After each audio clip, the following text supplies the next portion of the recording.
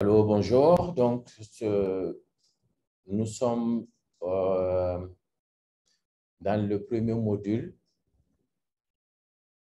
qui va s'intéresser sur les facteurs de changement climatique et de développement historique du climat de marché carbone.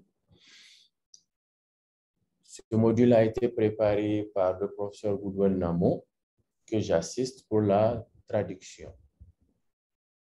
Donc, nous allons voir euh, les différents sujets seront traités et qui sont au nombre de 10. Et nous allons les prendre un à un. Alors, quels sont les résultats d'apprentissage objectif et de compétences sur ce thème-là? Au terme de ce module, vous devez être capable de comprendre la terminologie, euh, les terminologies donc importantes euh, qui sont utilisées dans les engagements internationaux euh, du marché climatique, mais également du marché carbone. De comprendre de manière holistique les liens qu'il y a entre le développement du marché carbone et les conventions cadres du climat à l'échelle mondiale notamment la Convention cadre des Nations Unies sur le changement climatique et le protocole de Kyoto. Mais également, vous devez être capable de réaliser et différencier justement les règles qui sont associées à ces marchés-là et aux conventions elles-mêmes. Alors, l'objectif de ce module, c'est de faire en sorte que euh, le participant que vous êtes, soyez capable donc d'évaluer la nécessité de comprendre mieux le, carbone, le marché carbone et les tendances justement actuelles, mais aussi motrices des émissions des gaz à effet de serre. Fournir un aperçu historique du développement des marchés climatiques et du marché carbone à l'échelle globale en mettant l'accent sur les conventions en particulier la Convention cadre des Nations Unies sur le changement climatique et le protocole de Kyoto, mais également vous fournir les informations nécessaires sur la réglementation des deux euh, thématiques. Pour cela, nous allons aborder un certain nombre de, de, terminologies et de concepts qui sont justement associés à ces deux sujets majeurs. Donc, le glossaire des termes, le concept clé sur les marchés carbone, mais également dans le contexte des négociations climatiques, les facteurs et les tendances des changements climatiques et les atténuations des émissions, la convention elle-même et les différents jargons qui sont utilisés, aussi le protocole de Kyoto et le marché carbone lui-même, ainsi que les autres technologies liées donc au euh, mécanismes de vérification, de rapportage et de suivi. Alors, quels sont les termes auxquels vous devez prêter attention et les concepts que vous allez très souvent entendre quand il s'agit du marché carbone et des négociations euh, climatiques? J'ai choisi juste quelques-uns de ces termes-là. Le terme le plus courant, couramment utilisé, c'est concept de gaz à effet de serre, qui aujourd'hui, on le comprend encore mieux. Un gaz est appelé un gaz, gaz à effet de serre quand il s'agit d'un gaz euh, responsable ou qui contribue au réchauffement de la planète et par ricochet au changement climatique. Les principaux gaz à effet de serre les plus importants qui sévissent dans l'atmosphère pour des raisons naturelles ou bien des raisons euh, de, de pratiques anthropogéniques sont le dioxyde de carbone, le méthane et l'oxyde nitreux. Il y a des gaz qui sont rares, mais qui ont aussi des effets très puissants vis-à-vis du réchauffement de la planète et de, des changements climatiques. En particulier, je nommé ici les hydro fluorocarbone et les fluorocarbone, mais aussi l'hexafluorure de soufre. Un autre terme auquel il faut prêter attention, c'est le potentiel de réchauffement Alors, le potentiel de réchauffement ici, c'est un indice ou un indicateur qui représente l'effet combiné des différents gaz à effet de serre et leur durée dans l'atmosphère et comment ces gaz-là ont une puissance particulière à absorber le rayonnement infrarouge euh, sortant. Un autre terme important, c'est l'atténuation. Dans le contexte des changements climatiques, une intervention humaine visant à réduire les sources ou à renforcer les puits de gaz à effet de serre est appelée une, atténuation. Donc, ces efforts-là peuvent être de divers types. Il s'agit par exemple de se servir de manière plus efficace euh, de certains combustibles fossiles dans les processus industriels ou la production d'électricité et de faire en sorte, peut-être, par exemple, de changer de source d'énergie et aller vers ce qu'on appelle des énergies propres comme l'éolienne, comme le solaire, ou mettre d'autres processus euh, artificiels dans les BTP, par exemple, comme l'isolement des bâtiments ou bien la forestation, sachant, on sait que le, les arbres ont tendance justement à absorber certains de ces gaz à effet de serre, comme le dioxyde de carbone. Un autre terme important que vous devez garder à, l'esprit, c'est euh, le concept de MRV. MRV, c'est mesurage, rapportage et vérification. En gros, ici, il s'agit d'un processus euh, qui, en gros, permet la transparence entre les pays, entre les nations, mais aussi entre les institutions pour euh, épauler ou aider dans la transparence quant aux différents engagements qui sont pris pour atténuer les gaz à effet de serre dans l'atmosphère. Donc, les efforts que les pays, on appelle les parties ici, utilisent ou ont promis de, de, de, mettre en œuvre pour pouvoir réduire la teneur des gaz à effet de serre dans l'atmosphère, a besoin d'un mécanisme de vérification, de rapportage également et de mesurage. C'est ce concept-là qu'on appelle le MRV. Un autre terme important que vous devez garder à l'esprit, c'est le marché carbone lui-même. C'est un terme assez populaire, mais qui semble un peu trompeur trompeur dans le sens que quand on dit marché carbone, on a tendance à penser qu'il s'agit seulement de carbone. Non, en réalité, c'est un terme désignant un système d'échange par lequel les pays peuvent acheter ou vendre des unités d'émission de gaz à effet de serre. Donc ici, c'est tous les gaz à effet de serre les plus, euh, qui sont concernés, ce n'est pas seulement le carbone, et dans le but de respecter leurs limites nationales d'émission.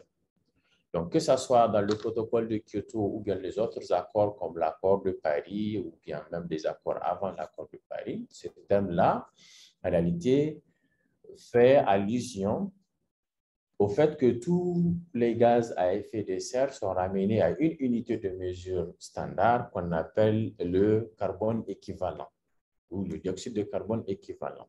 C'est une unité qui est utilisée dans le marché carbone pour pouvoir standardiser les notions et pouvoir faire les mesurages, le rapportage, mais également la vérification.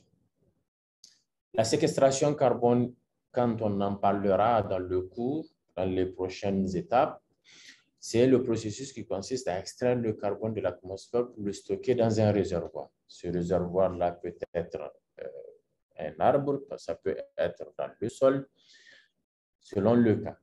Donc, quand on attrape, j'ai mis entre guillemets, on attrape le carbone ou un gaz à effet de serre quelconque de l'atmosphère, on l'extrait de l'atmosphère pour le stocker quelque part, que ce soit dans le sol ou bien quand l'arbre naturellement respire, euh, on parle de séquestration de carbone. Ainsi, là où euh, le carbone est séquestré, il y a diverses façons de les intituler. Et donc, on parle par exemple de puits.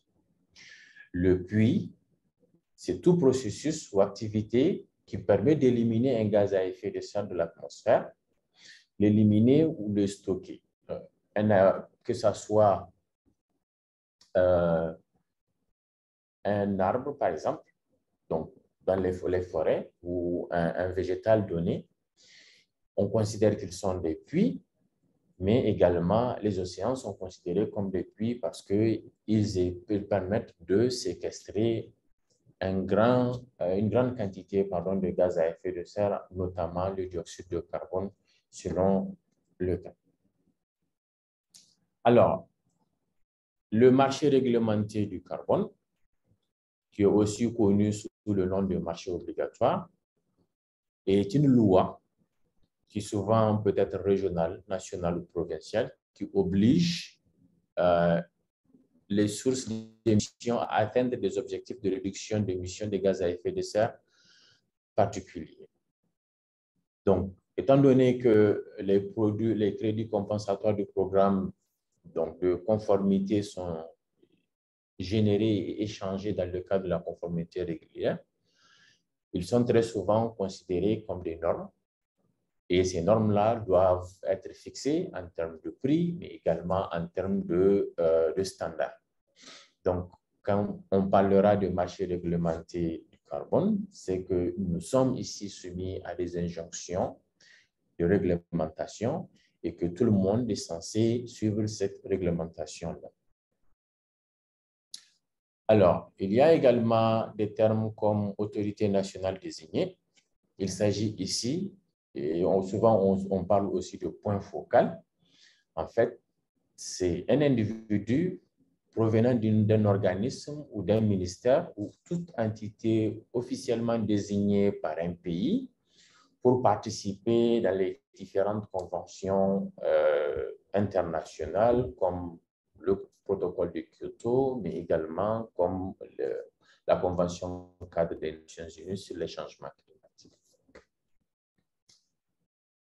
Alors, on parle de help desk pour les autorités nationales désignées ou un service d'assistance tout simplement, qui est en réalité une initiative de soutien pour les autorités nationales désignées ou les points focaux afin de leur fournir les capacités nécessaires en termes de conseil, en termes de soutien et d'assistance concernant les soumissions de propositions de base euh, référant donc aux normes ou recommandations qui sont, euh, qui sont définies par les différentes conventions et d'être capable justement d'utiliser ces différents standards-là pour pouvoir voir, faire faire au pays tout ce qu'il avait eh, avancé comme engagement dans ces différentes conventions.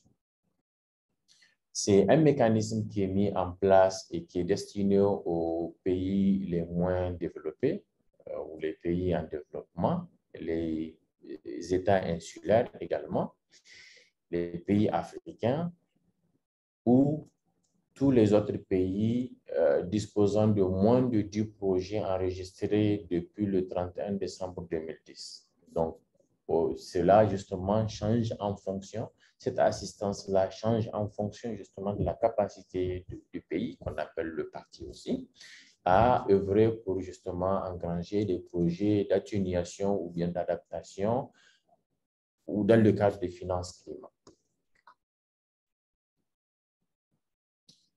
Alors, dans le domaine, il y a aussi un autre terme important qu'on appelle AFOLU, agriculture, foresterie et utilisation des terres, qui est en fait un secteur de l'inventaire des gaz à effet de serre portant sur les émissions et l'absorption des gaz à effet de serre issus de l'utilisation des terres, des changements d'utilisation des terres et des activités forestières directement induites par les activités humaines.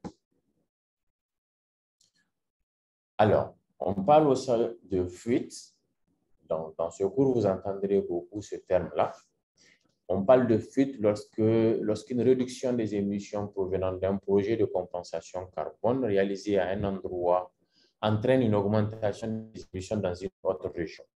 Par exemple, lorsque la préservation d'une forêt dans une région crée un transfert d'activité d'exploitation forestière dans une autre zone de forêt, ou lorsque, par exemple, les multinationales délocalisent des usines, des de pays développés vers des pays en voie de développement pour euh, échapper aux restrictions sur les émissions. On parle de fuite dans ce sens. Un autre terme important, c'est le RED, ou souvent on parle de RED+, la réduction des émissions dues à la déforestation et à la dégradation des, des, terres. C'est un sujet propre en soi qui sera discuté. Un autre terme important pour la suite de ce, de ce cours en entier, c'est les CDN. Donc, on sait que nos pays se sont engagés d'une manière ou d'une autre auprès donc, de la Convention cadre des Nations Unies sur les changements climatiques. Donc, conformément à l'article 4, paragraphe 2 de l'accord de Paris, chaque pays est tenu de préparer, de communiquer, de maintenir ses contributions nationales déterminées, euh, donc au niveau et qu'il compte réaliser. Ainsi, les partis prennent des mesures d'atténuation au niveau national dans le but d'atteindre des objectifs vis-à-vis donc des contributions euh, vis-à-vis de leurs contributions par rapport aux engagements pris dans le cadre du, euh, de l'accord de Paris. Alors, les registres et les systèmes de registre, c'est une base de données électroniques retraçant, enregistrant toutes les transactions effectuées dans le cadre du système d'échange de droits d'émission des gaz à effet de serre euh, du marché carbone, mais également des autres mécanismes tels que le mécanisme de développement propre. Donc, le terme registre ici peut également faire référence aux réflexions actuelles sur le système de recensement des mesures d'atténuation appropriées au niveau national. Donc, ce sont ces termes-là qui sont d'autant plus importants à comprendre qu'à pouvoir les utiliser, pour pouvoir les utiliser pardon, dans la suite donc, de notre préparation vers le marché carbone. Il y a le jargon ou le concept de carbone bleu.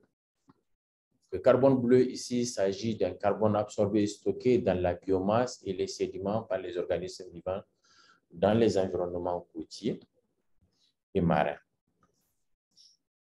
Alors, il y a aussi un terme qu'on appelle le plateformement et les échanges. Ici, c'est dans le cadre de la réglementation des quotas. Donc, c'est la procédure réglementaire qui fixe un quota sur la quantité d'émissions de gaz à effet de serre que les entreprises sont autorisées à émettre. Et les entreprises respectant leurs limites ont la possibilité d'échanger, c'est-à-dire, entre guillemets, de vendre leur permis d'émission excédentaire à d'autres entreprises dont les limites ont été atteintes. Donc, en gros, c'est un système dans lequel il y a un certain seuil qu'il ne faut pas, qu'il ne faut pas dépasser. C'est donc un quota qui est attribué. Il y a des entreprises qui arrivent au bout de leur quota et il y a d'autres qui n'arrivent pas à respecter, à, absorber leur quota et donc elles peuvent se permettre de faire un certain, échange, mais ces échanges-là sont euh, limités et plafondés. Alors, il y a un système de plafonnement particulier qu'on va utiliser également, c'est le système de plafonnement et d'échange de la Californie. Donc, le programme californien de plafonnement et d'échange est administré par une institution qui s'appelle le Western Climate Initiative et contrôlé par le, le, Californian Air Resources Board. Donc, ce programme-là a débuté en 2012 et a été créé, a été pardon, euh, mise en place par la suite et est mise en association avec des programmes d'émissions similaires des provinces canadiennes du, et du Québec. Et depuis peu, on a également Ontario qui s'est mis dans la danse. Donc, les quotas des deux juridictions peuvent être utilisés pour la mise en conformité. Et le système de plafonnement et d'échange comprend les principales centrales électriques, les grandes installations industrielles et les distributeurs d'essence parmi d'autres secteurs. Il y a également les courtiers euh, dans le marché du carbone.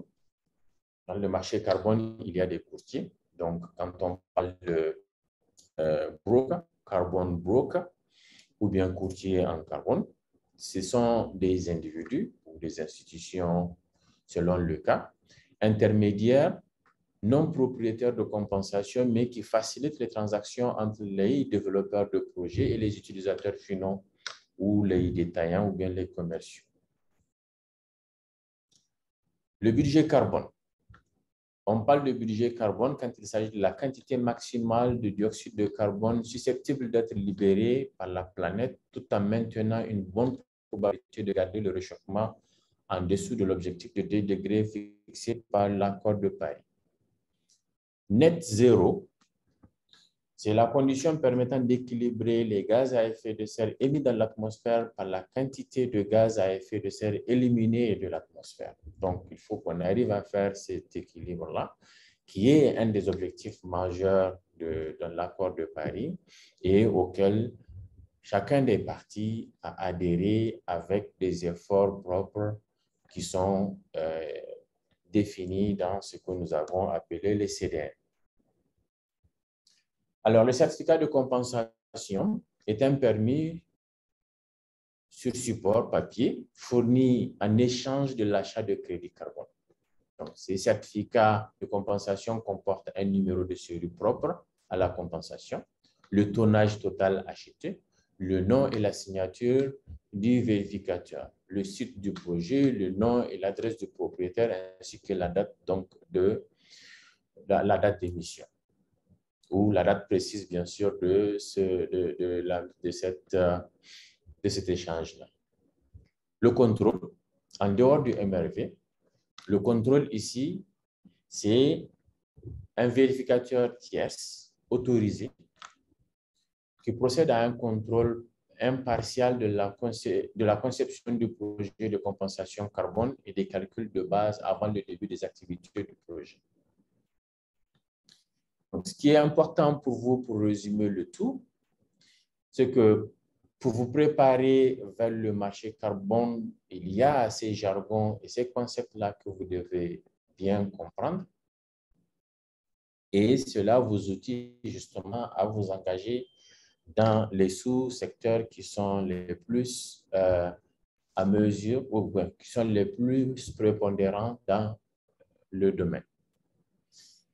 Donc, les piliers de préparation au commerce du carbone pour l'Afrique en général, mais pour votre institution en particulier, sont listés ici dans les six diagrammes que vous avez ici. Donc, il y a les plateformes de technologie digitale, et l'information et de communication, qui sont très importantes dans ce domaine. Il y a les moyens institutionnels nécessaires aussi pour que vous puissiez prendre vos premiers engagements. L'adhésion des hauts dirigeants politiques et des rachats d'entreprises, qui sont aussi des mécanismes dans ce marché.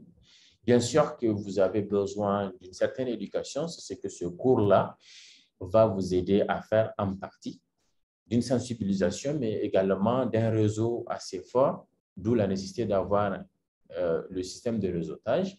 Et bien sûr, vous devez connaître les réglementations, mais aussi les cadres politiques et le, ce qu'on appelle l'enabling environment, l'environnement adéquat pour que justement ces réglementations-là puissent être mises en, euh, œuvre. Et vous avez la partie finance, au financement de ce marché.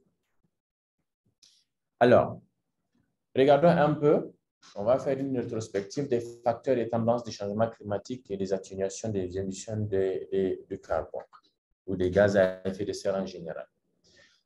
Une façon de vous aider pour aller au-delà de ce qui est dit ou ce qui est présenté ici, voici des liens qui vous seront utiles. Un premier lien qui vous donne les bases scientifiques euh, donc, autour de la physique des changements climatiques un autre lien YouTube de 14 minutes qui vous, fait, qui, donne, vous donne l'essentiel des impacts, adaptation et vulnérabilité donc au changement climatique de 2022. Et vous avez aussi un petit résumé de trois minutes qui vous donne l'essentiel sur le sixième rapport du GIEC sur les aspects atténuation, les impacts des changements climatiques. Et le dernier lien ici de 13 minutes qui est un détail par rapport au, lien de trois minutes. Alors, ce qui est important ici, c'est que vous avez une documentation assez riche qui vous permet d'avoir l'essentiel donc de l'information. Et si vous vous rappelez très bien, il y a pas mal de unes qui sont passées dans les médias, en ligne, mais également dans les, dans les ondes radio-télévisées qui parle en gros de tout ce qu'il y a comme processus, connaissance, rapport autour donc, euh, du climat, des conventions sur les changements climatiques, mais également sur l'atténuation, etc. Donc, ici, vous avez un résumé des différents euh, rapports qui ont fait la une des journaux et que vous pouvez toujours aller lire et vous inquiéter plus. Alors, pourquoi est-ce qu'on a besoin d'une certaine conformité aux normes climatiques? Parce que tout simplement, les changements climatiques tels qu'ils se présentent ne nous donnent pas le choix. On a besoin non seulement d'atténuer les effets des changements climatiques, mais également essayer de réduire les gaz à effet de serre qui, qui se trouvent dans l'atmosphère, qui sont déjà pompés dans l'atmosphère grâce aux activités euh, euh, humaines mais également de pouvoir s'adapter aux conséquences des changements climatiques. Ce graphique ici vous résume en gros les efforts d'innovation qui sont développés depuis le 19e siècle jusqu'à nos jours et que nous appelons ici les vagues d'innovation verte. Ces vagues d'innovation verte-là, dont la plus récente à nos jours, Aujourd'hui, on parle beaucoup plus de digital, du digital et de la biotechnologie, mais également l'utilisation de l'information et de la communication dans le domaine soft. Bien sûr, la prochaine vague, à partir de nos années jusque dans le futur proche, c'est d'aller vers les véhicules électriques, les véhicules à hydrogène, susceptibles justement de d'une manière radicale, réduire un peu l'empreinte humaine dans l'émission des gaz à effet de serre et aider à arriver au bilan net zéro comme on l'avait défini précédemment. Alors, qu'est-ce que c'est que les changements climatiques? Nous avons deux définitions qui existent dans ce cas. Il y a la définition qui provient du groupe d'experts intergouvernemental sur l'évolution du climat qu'on appelle le GIEC. Et nous avons la définition qui est donnée par la Convention cadre sur les changements climatiques. Donc, le GIEC définit les changements climatiques comme tout changement climatique observé dans le temps, qu'il soit dû à la variabilité naturelle ou à l'activité humaine. Tandis que la Convention cadre des Nations Unies sur les changements climatiques désigne le changement climatique comme un changement de climat imputable de manière directe ou indirecte aux activités humaines, modifiant la composition de l'atmosphère globale et s'ajoutant à la variabilité naturelle du climat observé sur des périodes comparables. Alors, vous allez voir que dans leur compréhension, ces deux termes-là sous-tendent la même chose, mais dans les faits, il y a une certaine diversité où le GIEC ne se préoccupe pas trop de qui en est responsable, mais du point de vue Convention cadre des Nations Unies, du moment où ça fait intervenir des négociations et des aspects réglementaires, la question de la source ou du responsable, qui en est responsable, est très importante. Donc ça, ça nous permet justement d'avoir deux visions complémentaires mais différenciés. Complémentaires dans le sens qu'on aboutit à avoir d'un côté, du côté du GIEC, l'expression même scientifique des résultats à partir des analyses des données et de l'information. Et dans le cadre donc, des négociations sur les conventions des Nations Unies, avoir justement un contexte, des bases scientifiques pour pouvoir faire des négociations afin que tous les partis puissent aider dans les efforts d'atténuation, d'adaptation et de financement euh, en lien avec les changements climatiques. Alors, c'est dans le cadre de la convention de, ces, des, conventions, de la convention cadre des Nations Unies sur les changements climatiques qu'on parle justement et qu'on différencie les, les, gaz à effet de serre et on porte un œil particulier sur les gaz les plus répandus en fonction de leur pouvoir radiatif. Ainsi, donc, le dioxyde de carbone, qui est le gaz le plus important dans l'atmosphère, on appelle le CO2, il a un pouvoir radiatif planétaire de 1. Le méthane a un pouvoir radiatif de 30. Le dioxyde d'azote a un pouvoir radiatif de 265. Et au fur et à mesure qu'on tend vers les gaz rares, on voit que ce pouvoir radiatif-là, euh, il devient de plus en plus grand. Et donc, le dioxyde de carbone est utilisé comme une unité standard de mesure euh, par rapport à laquelle, une unité de standard de mesure par rapport à laquelle tous les autres gaz à effet de serre sont mesurés. Et donc, si on prend le cas, par exemple, de l'hexafluorure de soufre, son potentiel de réchauffement planétaire est de 26 100, donc comparé au dioxyde de carbone qui n'est que. Cette information, ce tableau est souvent mis à jour par le GIEC, mais aussi par la Convention dans tous les rapports qui ont été fournis par le GIEC. Quelles sont les sources de gaz à effet de serre? Bien sûr, ça, c'est un graphique euh, du rapport 5, mais également que vous pouvez retrouver mis à jour. Les chiffres n'ont pas beaucoup évolué. Vous pouvez retrouver dans le rapport 6 de 2021. Donc, en termes de carbone équivalent, euh, le total étant de 49 gigatonnes carbone équivalent en 2010. Et pour chaque secteur ici, vous avez les proportions ou le taux euh, contribué par chacun de ces domaines. Donc, vous, avez, vous allez remarquer que le domaine de la production d'énergie ou d'électricité, pardon, est le domaine qui contribue le plus à 25%, suivi par le domaine de l'agriculture, la foresterie et l'utilisation des terres. Ensuite, le domaine des BTP, le transport, l'industrie et les autres sous-domaines qui peuvent être, euh, qui justement très souvent font ce qu'on appelle des émissions directes. Maintenant, il y a des sous-secteurs qui ont des émissions indirectes en ce sens que c'est des émissions qui ne proviennent pas directement du domaine en tant que source, mais qui, par ricochet, peuvent induire aussi à des émissions de, dioxyde de carbone. Alors, qui pollue le plus? Cette question a souvent fait l'objet de débats et aujourd'hui c'est tranché. Vous avez ici la carte mondiale euh, montrant le pourcentage contribué par chacun des pays euh, dans le monde entier. Et la carte ici, elle est falsifiée pour tenir compte du, du taux contribué par chaque pays.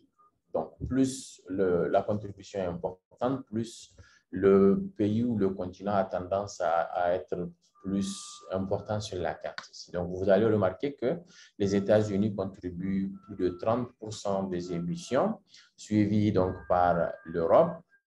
Ensuite, c'est l'Union soviétique, la Russie.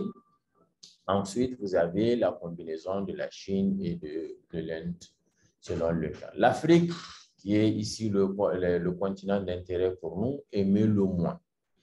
Donc, cette source a été mise à jour. Jusque-là, l'Afrique, jusqu'à présent, contribue le moins euh, sur les taux d'émission de gaz à effet de serre globalement. Et à l'heure actuelle, on parle de 4 à 4,5% de contribution de la part euh, de, du continent africain tout entier. Alors, quels sont les facteurs, en gros, qui, euh, qui modulent les changements climatiques ou qui font que le climat change? Bien sûr, le premier parmi ces facteurs-là, c'est le réchauffement lui-même. Donc, les gaz à effet de serre qui ont tendance à absorber l'infrarouge venant de la surface et qui lui empêchent donc de sortir d'aller hors atmosphère. Et donc, en, le, en, le, en lui empêchant de sortir et en l'absorbant, il, il émettent encore de la chaleur, ce qui fait que, justement, toute la, la première partie de, la surface de la Terre tend à se réchauffer. Et ce réchauffement-là fait que la température augmente. Et ça, ça a diverses conséquences sur comment le climat se comporte. Et aujourd'hui, les rapports sont très clairs que les différents dividendes de ce réchauffement-là incluent des, des, feux de brousse, incluent des sécheresses par-ci, par-là sur la planète, des pluies diluviennes ou des précipitations très extrêmes qui font qu'il y a des dommages sur le point de vue inondation, mais également la recrudescence des événements comme les cyclones et j'en passe. Au-delà de cela, il y a aussi la nature des océans, des eaux des océans qui changent justement parce qu'il y a des processus physico-chimiques qui se passent à l'intérieur de l'océan qui font que les océans tendent à devenir plus acides et donc la vie marine, elle aussi, elle est menacée. C'est ce que le rapport du GIEC en 2014 avait montré et cette année également en 2021, et ce même rapport a mis à jour les graphiques et la tendance reste la même, quoique si elle, reste la même, une chose qui est très importante, c'est que c'est la rapidité à laquelle justement cette tendance à l'accroissement du réchauffement se présente par rapport donc au, au, temps passé. Donc la tendance aujourd'hui, c'est justement le temps, la température moyenne globale est en train d'augmenter. C'est ce que cette figure-là vous montre, mais c'est également ce que le rapport récent, de, le sixième rapport du GIEC donne. Et à cela, justement, on peut regarder le niveau de la mer qui lui aussi est en train d'augmenter.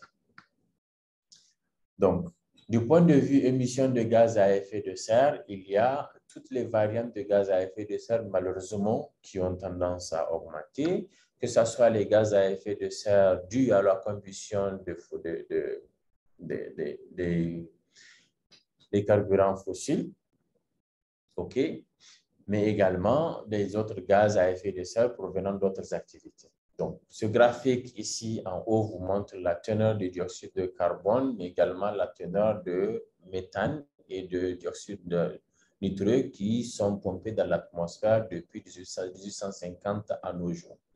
Et ce que vous remarquez ici, c'est justement cette tendance à la hausse.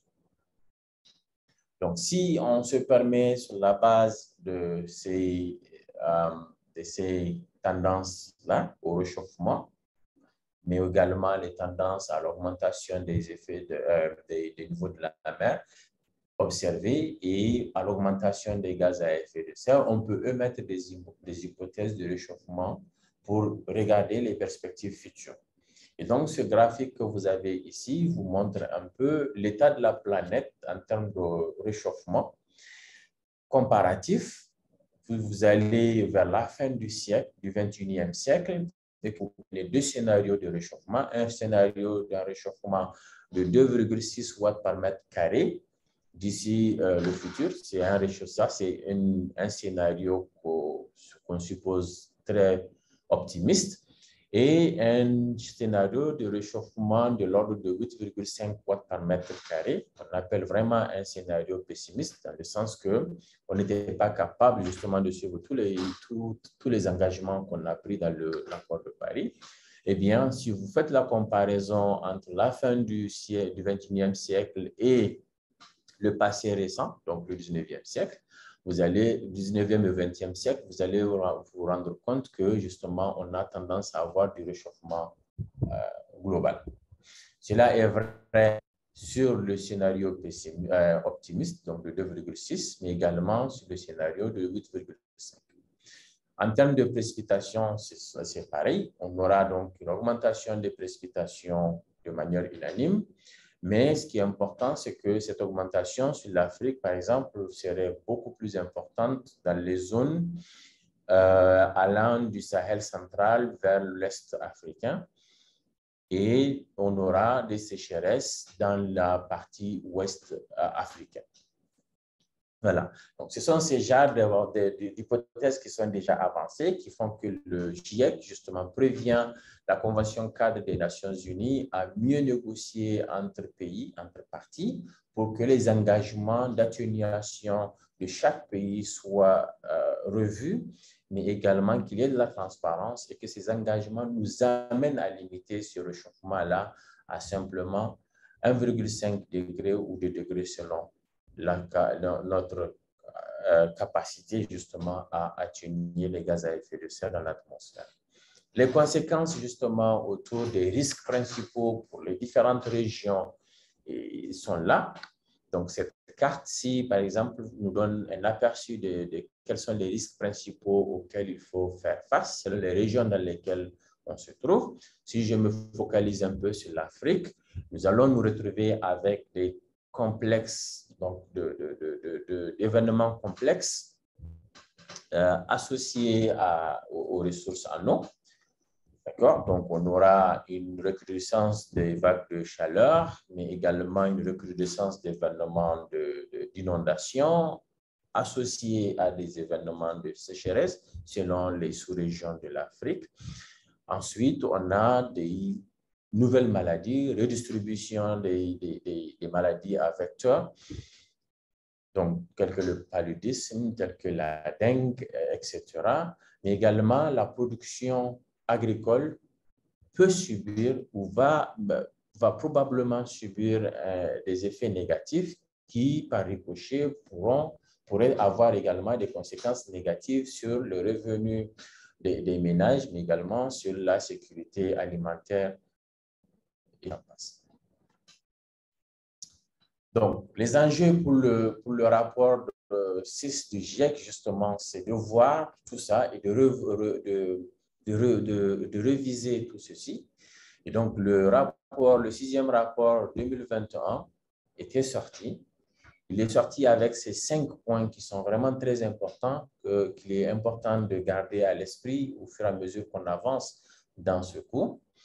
C'est en faisant les analyses sur la période 2010-2019, on s'est rendu compte que la production d'une moyenne annuelle d'émissions de gaz à effet de serre est déjà atteinte. Elle a atteint son point culminant par rapport à l'histoire de l'humanité. Donc, du coup, on, risque de sortir de cet objectif de limiter le réchauffement à 1,5 degré, bien que les preuves donc, de l'action climatique se, se, se multiplient quoi qu'on fasse des efforts, on, peut, on doit faire encore plus d'efforts justement pour euh, faire en sorte que le, le réchauffement soit limité, quoique l'objectif de 1,5 serait difficile à atteindre selon les réalités actuelles. À moins de réduire immédiatement et de manière significative les émissions dans tous les secteurs, l'objectif de 1,5 semble impossible à atteindre. Dans certains cas, les coûts d'énergie renouvelable sont inférieurs à ceux des combustibles fossiles. Donc, du coup, on a quand même aujourd'hui un argument à avancer, selon ce rapport-là, que les énergies renouvelables seraient une des portes de sortie pour réduire l'empreinte des énergies renouvelables dans les émissions de gaz à effet de serre. Et ce, troisième, ce cinquième point qui dit que dans certains pays et régions du monde, les systèmes électriques fonctionnent déjà majoritairement grâce donc aux énergies renouvelables. En d'autres termes, ce n'est pas une, invention, c'est des choses réelles qui sont là et qui, sont, qui ont fait leur preuve déjà dans certains pays, dans certaines régions. Donc, du coup, les autres pays développés ou les pays en développement peuvent prendre euh, exemple de ces cas bien, de, de ces leçons apprises, de ces cas bien fonctionnels pour encore faire le développement autrement. Alors, ce graphique nous montre tout simplement, selon le rapport, que nous ne sommes pas sur la bonne voie par rapport aux ambitions de limiter le réchauffement à 1,5 degré. Ça, ça attire l'attention. Du coup, il est important justement que les gens, que les partis s'engagent, les pays s'engagent, mais aussi les institutions s'engagent vers le net zéro pour pouvoir justement équilibrer les gaz à effet de serre émis et les gaz à effet de serre extraits de l'atmosphère pour que le réchauffement soit limité. Donc, limiter le réchauffement à 1,5 nécessite un niveau maximal d'émissions mondiales d'avant 2025 d'une réduction de 43% d'ici 2030 et une réduction de 34% du méthane d'ici 2030. Pour limiter le réchauffement à environ 2 degrés, il faut que les émissions mondiales de gaz à effet de serre, à effet de serre pardon, atteignent leur niveau maximal avant 2025 et soient réduits à de 25% d'ici 2030. Donc, ce rapport, il, n'est pas alarmant, mais il nous montre un peu quels sont les efforts que les pays sont censés mettre en œuvre pour pouvoir justement arriver aux objectifs fixés. La température va se stabiliser une fois que le niveau d'émission nette de gaz à effet de serre sera nul. C'est la seule possibilité qu'on a. Et il existe aujourd'hui des alternatives possibles dans les secteurs susceptibles de réduire ces émissions-là d'ici 2020. Donc, on a déjà parlé des, des, des, énergies renouvelables, mais également aujourd'hui, il y a des solutions d'ingénierie qui permettent de capter le, gaz à effet de serre, de quel type que ce soit, de l'atmosphère pour les enfuir dans le sol. Donc, autre enjeu important, justement, c'est que les options, selon les secteurs dans lesquels on veut, aller, il y a de la demande, il y a de l'offre, il y a du potentiel à ce que tous les secteurs qui ont une empreinte d'émissions très élevée puissent être mis à contribution pour réduire les gaz à effet de serre. Il s'agit du secteur de l'énergie, l'utilisation des terres, en particulier l'agriculture, la foresterie et autres, l'industrie, l'urbanisation, le BTP, mais également le transport. Dans le domaine de l'énergie en particulier, les transitions importantes et nécessaires pour limiter le réchauffement, à, le réchauffement climatique sont importantes. Et ces réductions, ces, ces, transitions pardon, vont passer par la réduction de l'utilisation des combustibles fossiles et faire recours justement au captage et au stockage du carbone. Ça, c'est des choses qui sont possibles et faisables. Les systèmes énergétiques à faible émission aussi doivent être mis à contribution et l'électrification est généralisée à partir de, de, procédés donc d'amélioration de, de l'efficacité énergétique, mais également d'utilisation de, sources propres comme les énergies renouvelables. Ce qui est important ici, c'est que il y a aujourd'hui des techniques et des technologies qui sont développées qui permettent justement de remplacer certains types de carburants par d'autres types. Et aujourd'hui, on est en train de développer l'industrie, par exemple, de l'hydrogène hydrogène vert, selon le cas, pour pouvoir, et, mais aussi des biocarburants pour pouvoir remplacer et substituer les carburants fossiles. Donc, le, la, la, la, demande d'un véhicule électrique, les véhicules électriques sont d'abord un des meilleurs potentiels dont on dispose, mais également les technologies de batterie qui est en, en forte progression l'aviation et le transport maritime qui a nécessité maintenant d'utiliser des carburants de substitution comme le carburant hydrogène à base d'hydrogène ou bien le biocarburant. Et donc, nous avons des solutions en main et ces solutions-là doivent juste être mises en œuvre. D'où la nécessité pour les pays de s'engager, pas seulement de s'engager, mais de manière pratique, d'aller vers la mise en œuvre de ces engagements-là et que d'ici 2030, on arrive justement à avoir euh, les objectifs de réduction nécessaires pour que les gaz à effet de serre puissent être équilibrés dans l'atmosphère et pour que le réchauffement soit limité à 1,5 degré ou 2 degrés. Donc, de tout ce que j'ai dit là, vous avez ici euh, des liens qui sont assez pertinents pour que vous puissiez lire, pour que vous puissiez mieux comprendre et prendre de l'avant justement sur ce que nous allons euh, discuter.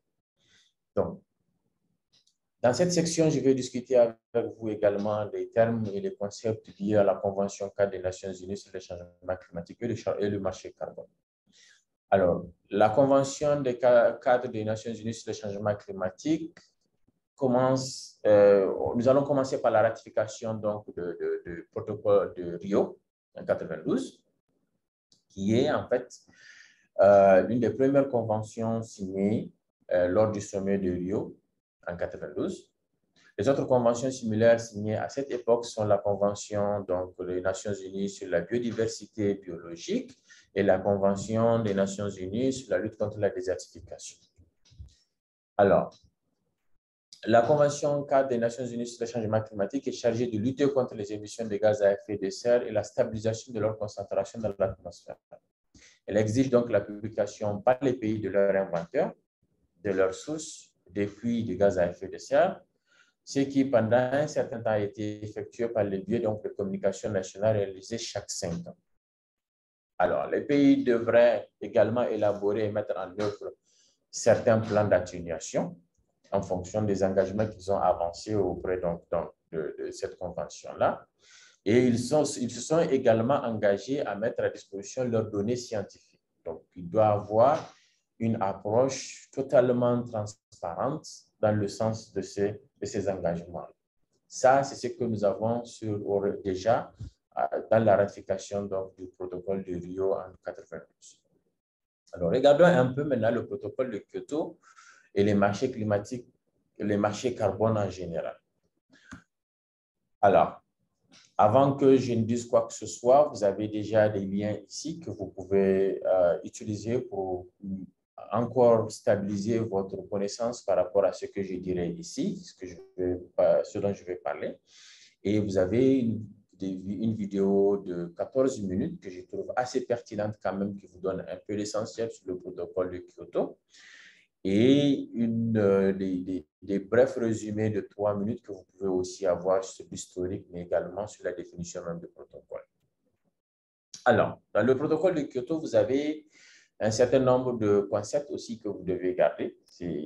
Lui-même, en tant que tel, c'est un accord international autonome qui nécessite une ratification distincte des différents partis, donc les différents gouvernements associés à la, à la Convention cadre des Nations Unies.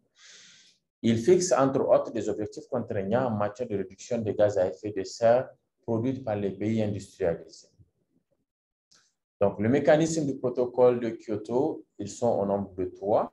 Trois procédures établies dans le cadre du protocole pour donc, accroître la flexibilité et réduire le coût de la réduction des émissions. Il s'agit du mécanisme de ce qu'on appelle, euh, du mécanisme qu'on appelle mécanisme de développement propre. Ensuite, les échanges de droits d'émission et la mise en œuvre conjointe. Alors, le protocole de Kyoto a rendu donc le cadre, la convention elle-même opérationnelle. 37 pays industrialisés, donc ce qu'on appelle les pays membres les pays faisant partie de l'annexe B, et l'Union européenne étaient chargés de réduire leurs émissions de 5,2% en moyenne par rapport au niveau de 90 entre 2008 et 2012, créant ainsi ce qu'on a appelé au départ le marché obligatoire du carbone. Donc, ce graphique vous donne en gros un peu le, la, la, structure en fait de ce marché euh, obligatoire du carbone en ce moment-là.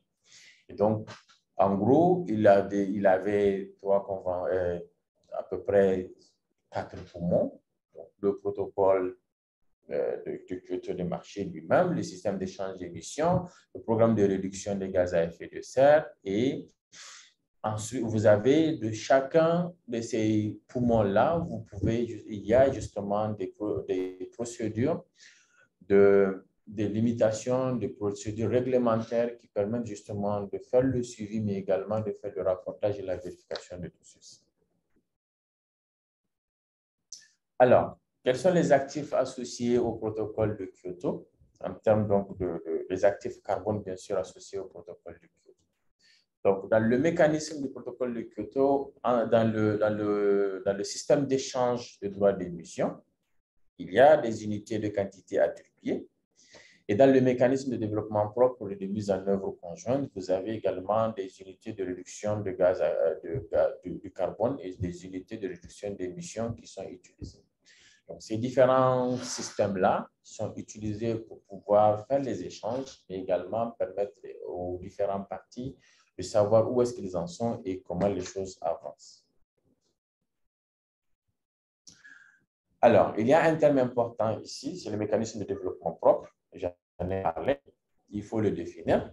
C'est un mécanisme prévu donc par le protocole de Kyoto par lequel les pays développés financent des projets de réduction et d'élimination des effets de gaz à effet de serre dans les pays en voie de développement. Et pour cela, ils reçoivent des crédits en contrepartie, lesquels leur permettre de respecter les limites obligatoires de leur propre émission. Les échanges de droits d'émission, un des trois mécanismes donc, de ce protocole de Kyoto par lequel une partie de l'annexe hein, peut céder des unités du protocole à une partie de l'annexe hein, ou acquérir des unités auprès de celle-ci. Une partie de l'annexe 1 se doit de remplir les conditions d'éligibilité spécifiques pour participer à l'échange des droits d'émission. Donc ici, il s'agit justement de ce que, à l'intérieur de l'annexe, là, les pays dits entre guillemets développés, qui sont dans les échanges, dans, dans l'obligation de réduire les, émissions, peuvent procéder à des échanges justement de droits d'émission selon le cas. Alors, la mise en œuvre conjointe ici, qui est le troisième pilier du protocole de Kyoto, c'est un processus par lequel un pays développé reçoit des unités de réduction d'émissions en cas de contribution au financement de projets qui réduisent des émissions nettes de gaz à effet de serre dans un autre pays développé. En pratique, l'État bénéficiaire est susceptible d'être un pays à économie en transition. Donc, en d'autres termes, c'est une partie ou un pays appartenant à l'annexe 1 qui se doit de remplir des conditions d'éligibilité spécifiques pour participer à la mise en œuvre conjointe. Donc, les unités, les, pour le terme unité de réduction des émissions, ici, il s'agit d'une tonne métrique de carbone équivalent. Alors, les unités qu'on appelle les URE, donc les unités de réduction d'émissions sont générées pour réduire ou supprimer les émissions dans le cadre de projets mis en œuvre de manière conjointe. Alors, j'avais parlé déjà du service d'assistance, mais ce service d'assistance aussi existe dans le cadre du protocole de Kyoto, qui est également une initiative de soutien aux différents projets, donc aux, pour les aux pays participants au projet, les développeurs, les entités de coordination et de gestion, les autorités nationales désignées, les entités opérationnelles désignées, afin d'obtenir des informations fiables, actualisées du secrétariat de la Convention cadre sur les questions concernant leur projet. Okay? Ce système n'est accessible qu'aux parties prenantes d'Afrique, des pays les moins de, à, développés, les petits pays ou les petits États insulaires, on dit, en développement, ainsi que les pays qui comptaient moins de 10 projets euh, à la date du 31 décembre 2010. Alors, vous avez également, dans le cadre du protocole de, de Kyoto et du marché carbone, il y a des mécanismes de financement, dont le Fonds vert pour le climat. Le Fonds vert pour le climat a été mis en place lors de la convention, donc, cadre des Nations Unies, euh, la conférence des partis, pardon, la 16e conférence des, des partis de Cancun en 2010. Et ce fonds-là a été établi en tant qu'entité opérationnelle du mécanisme financier de la Convention en vertu de l'article 11 de l'accord de Paris. Euh, de, de, de, de l'accord, oui, de, cet accord-là. Et ce fonds-là va financer des projets, des programmes, des politiques et autres activités dans les pays en développement. Euh, il est contrôlé justement par le Conseil du Fonds vert lui-même. Ensuite, vous avez un programme de prêt. Et le programme de, de prêt, lui, c'est une initiative de prêt sans intérêt, offrant un financement au projet pour le développement des documents de conception de projet, la validation et la vérification.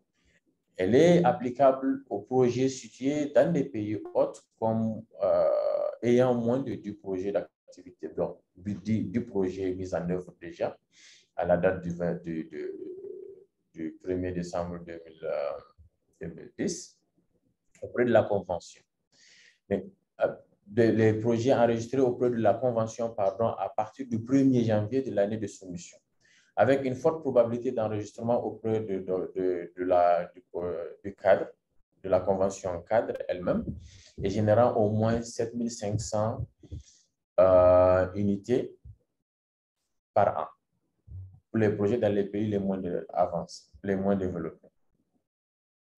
Les unités de réduction certifiées des émissions Alors, les unités de réduction de certifiées des émissions ici, qui sont en lien justement au programme de prêt, ce sont des unités qui sont mises en place par le protocole de Kyoto et qui équivaut à une tonne, euh, une tonne métrique de carbone équivalent.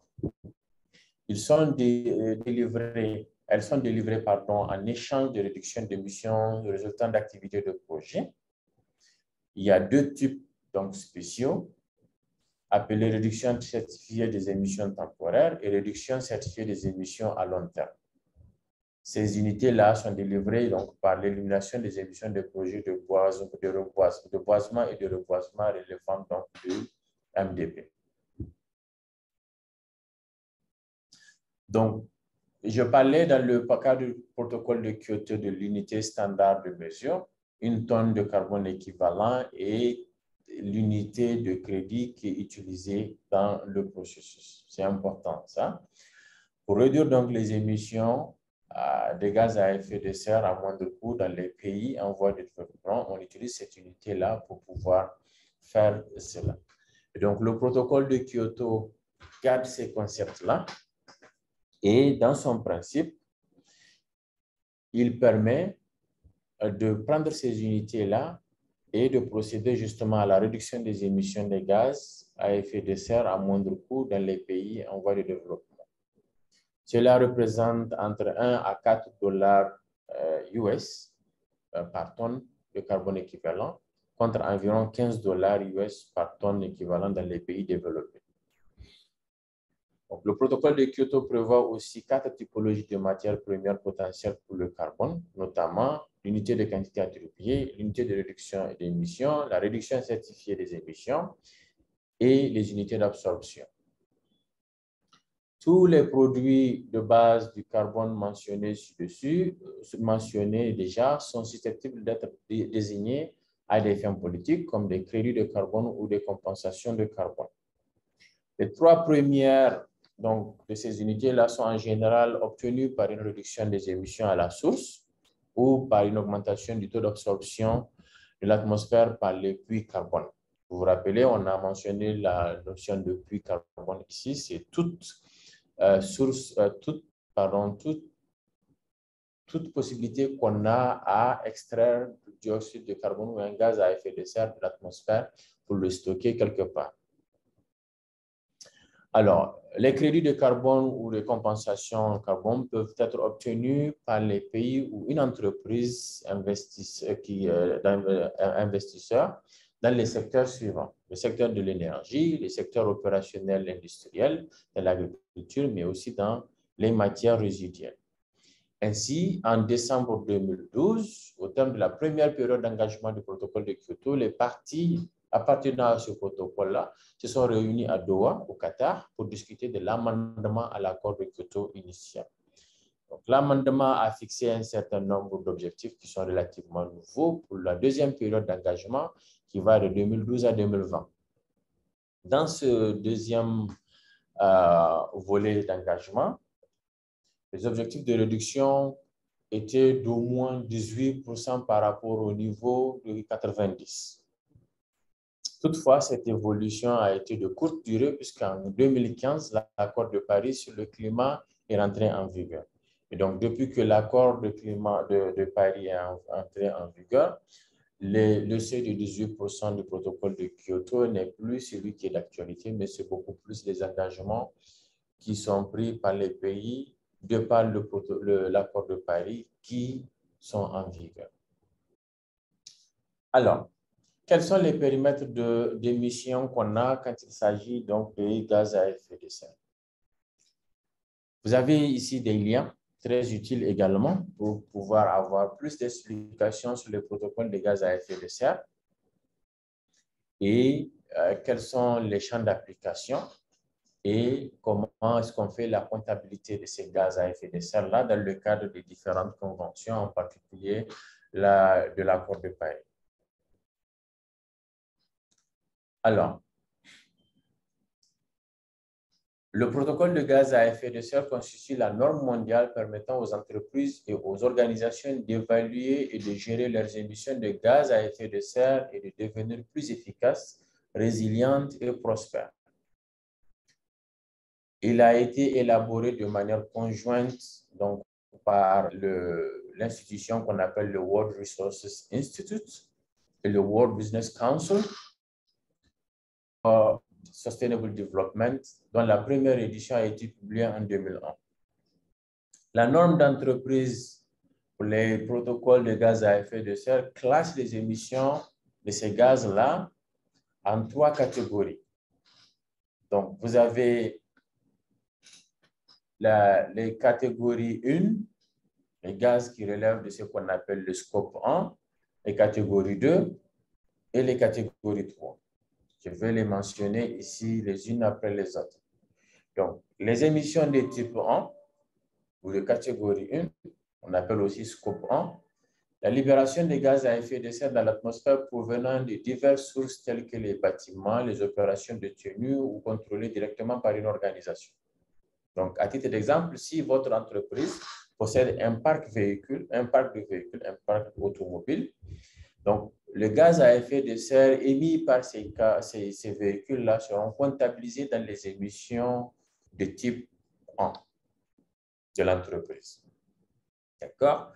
Les émissions de scope, 1, scope 2 ou émissions type 2, ce sont les gaz à effet de serre qui sont émis par votre institution à partir de son fonctionnement, donc par la production.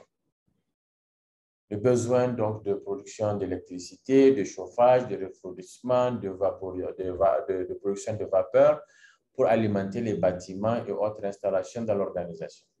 Si, par exemple, votre siège social est alimenté par une centrale électrique au charbon, une quantité proportionnelle d'émissions dues à la production d'électricité de cette centrale à charbon-là sera comptabilisée dans l'émission de portée de type 2 de votre entreprise. Maintenant, les émissions de type 3, ce sont tous les rejets de gaz à effet de serre générés par les activités elles-mêmes de l'organisation.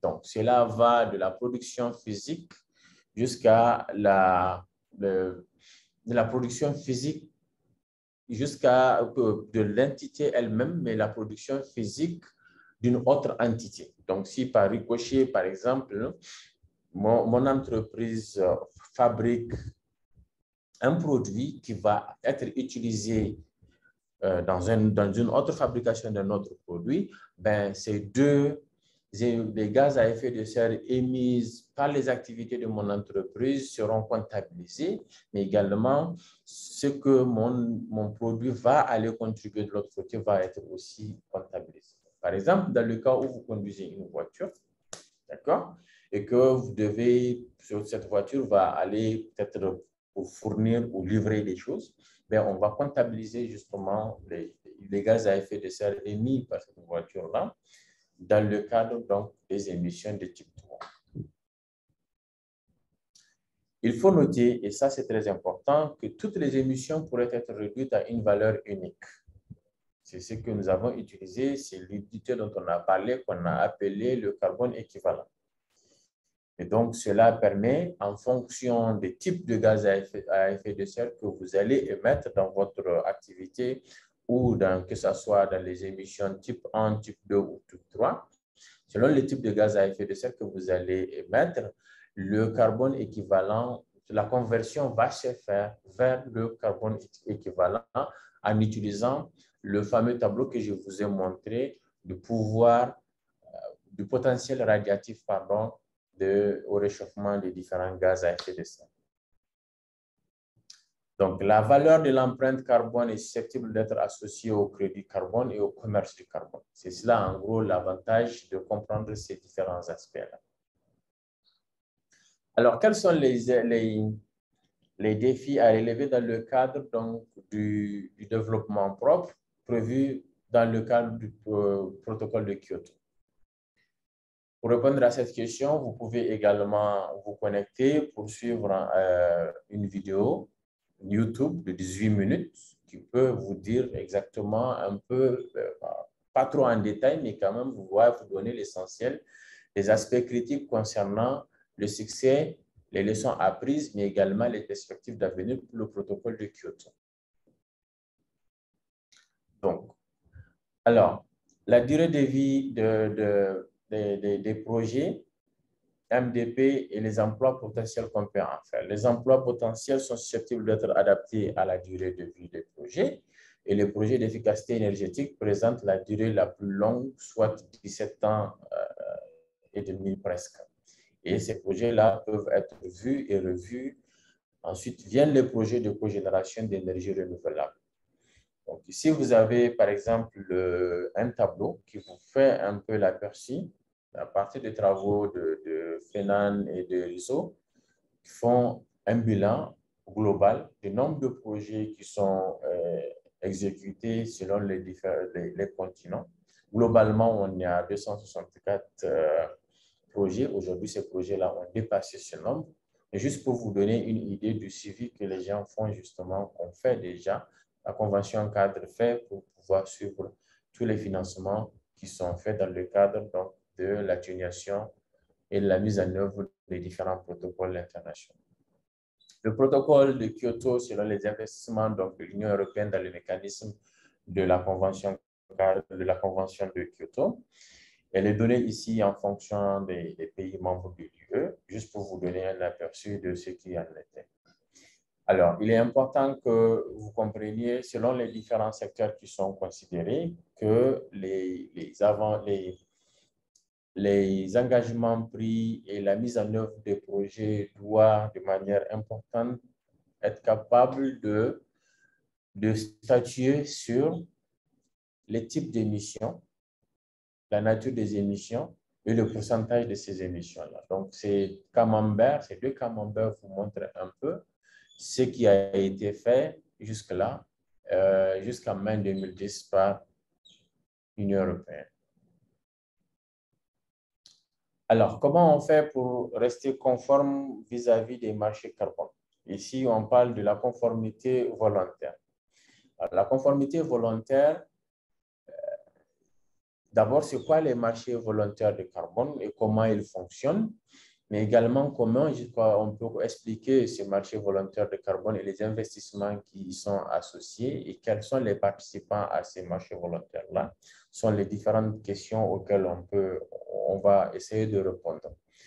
Mais avant cela, vous pouvez vous connecter justement sur ces différents euh, liens pour aller voir aussi, avoir des détails par rapport à ces questions. Nous, on est intéressé par les jargons qui sont euh, utilisés. On parle de marché volontaire du carbone. C'est un marché dans lequel les membres sont libres de réduire leurs émissions sans y être contraints par la loi, mais de manière volontaire. Ces marchés permettent aux émetteurs de carbone de compenser leurs émissions par l'acquisition de crédits carbone générés par des initiatives tierces visant à supprimer ou à réduire les émissions de gaz à effet de serre dans l'environnement. Les entreprises sont libres de s'engager sur le marché volontaire de carbone à titre individuel ou dans le cadre d'un programme sectoriel. Alors, il y a des normes, par exemple la norme Gold Standard pour la réduction des émissions de gaz à effet de carbone vérifié, qui est un système non gouvernemental de certification de projets de réduction des émissions et qui contribue au mécanisme de développement propre au marché volontaire de carbone et à de nombreuses initiatives en matière de changement climatique et de développement. Le VERA est une norme de certification de réduction des émissions de gaz à effet de serre applicable aux initiatives non gouvernementales similaires au Gold Standard. Elle attribue au mécanisme de développement propre, au marché volontaire, mais également aux autres, euh, à de nombreuses initiatives en matière de changement climatique et de développement. Alors, je suis à la fin de, de, cette première, de ce premier module-là. Et bien sûr, vous avez la possibilité de, de, réviser le tout à travers ce module d'exercice qui est disponible, mis à disposition dans la plate, sur la plateforme et auquel vous pouvez accéder. Alors, il est très important également de prêter attention au niveau, aux différents liens qui ont été donnés parce que ces liens vous permettent d'avoir un aperçu global et détaillé de ce qui a été discuté dans, cette, dans ce premier module. Je vous remercie pour votre attention.